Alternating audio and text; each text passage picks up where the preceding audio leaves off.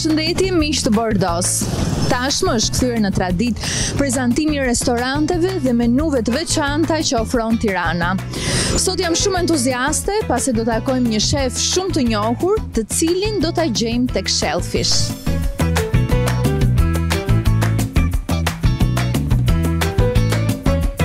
Shellfish e gjejmë tek një nga rrugët më identifikuese të kryeqytetit tek Shallvaret. Ne po na pret shef Beso, i cili do të na njohë me tre pjata klasike, por të sjella në mënyrë origjinale prej tij. Ejani.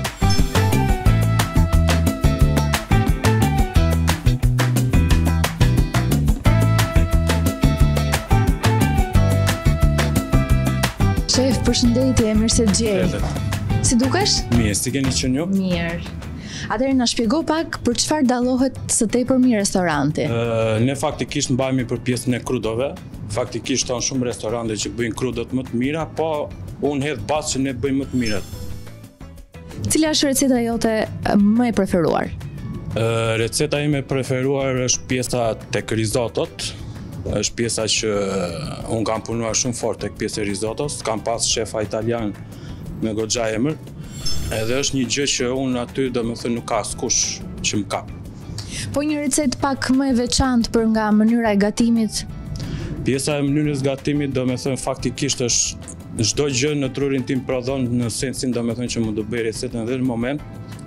Të veçantë nuk mund të veçoj asnjë lloj gjëje se mund të arrij të bëj 90% të gjërave që klienti do.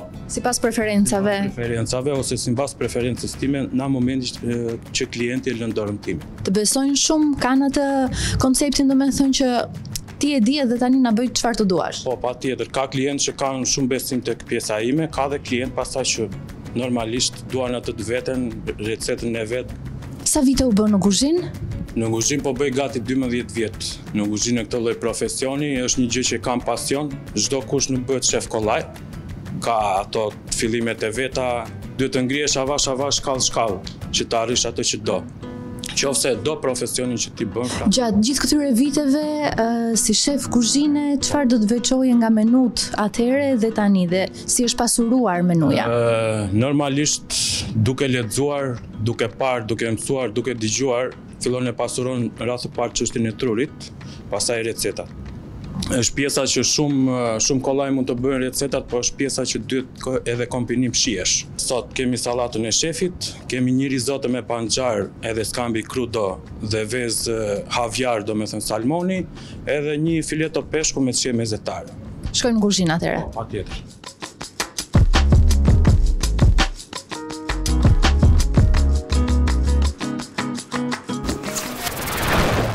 Pjata e parë është sallatë e shefit, përmban sallatë mix, jeshillëqesh, kemi përmbajtja salmon gravlax, gorgonzola, dardhë, edhe arra.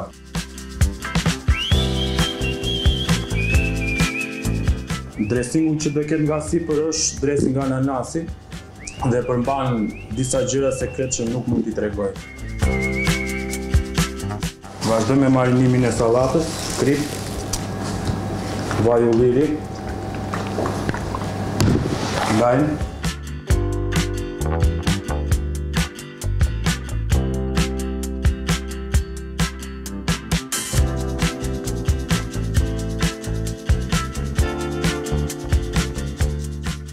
vendosim salmonin shkërmoqim gorgonzola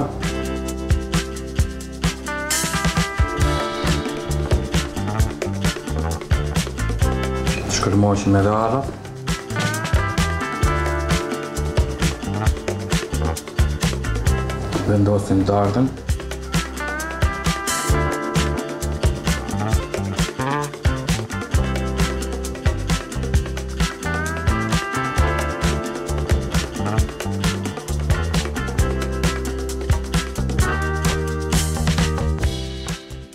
Fillojmë me pjatën e dytë që është një risotto me panxhar dhe skampi crudo dhe vezë salmoni. Fillojmë ta pregatisim. Shtojmë risotton. Ne e mbajmë të parapregatitur për arsye shpejtësie, klientët tanë nuk presin.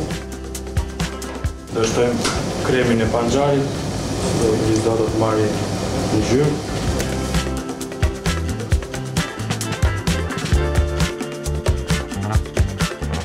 Pak kripë.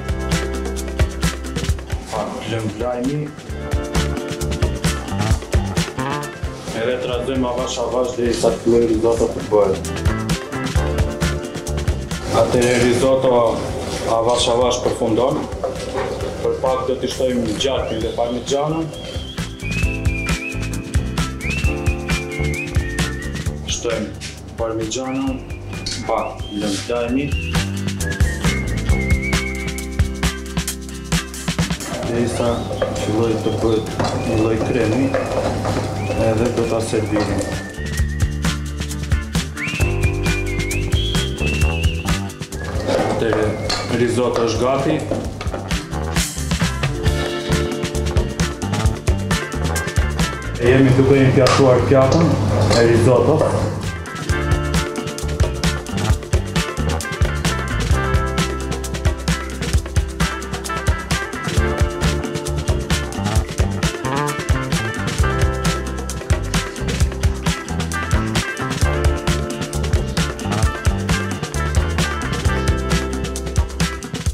Atëherë edhe vendosim gamberin krudo.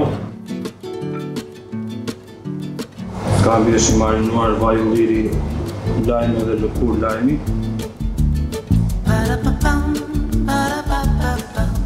Në fund vendosim Havjarin ose vezët e salmonit Lulet e dekorit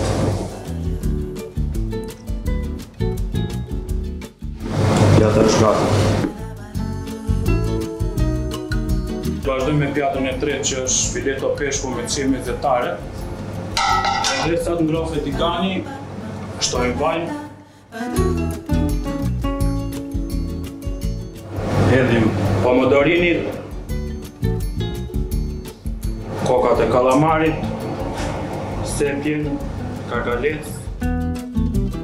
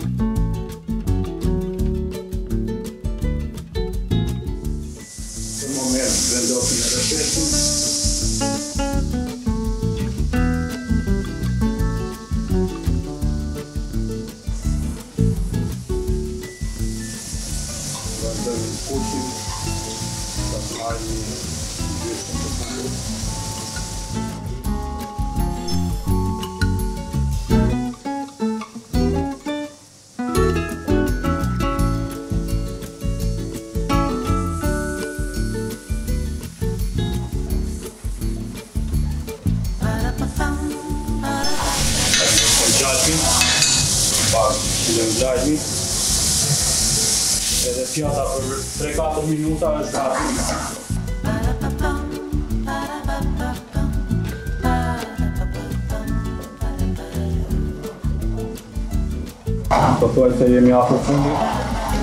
Duke gatuar dhe pjatën e tretë. Kjo është fileto peshku çime detare. Atëherë vazhdojmë me pjesën e impiatimit.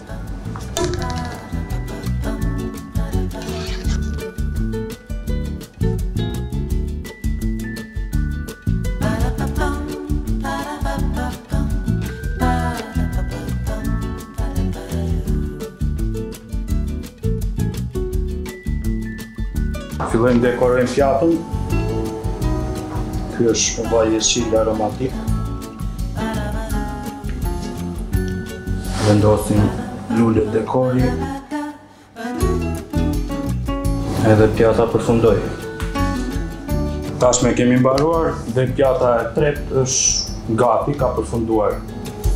Shumë faleminderit.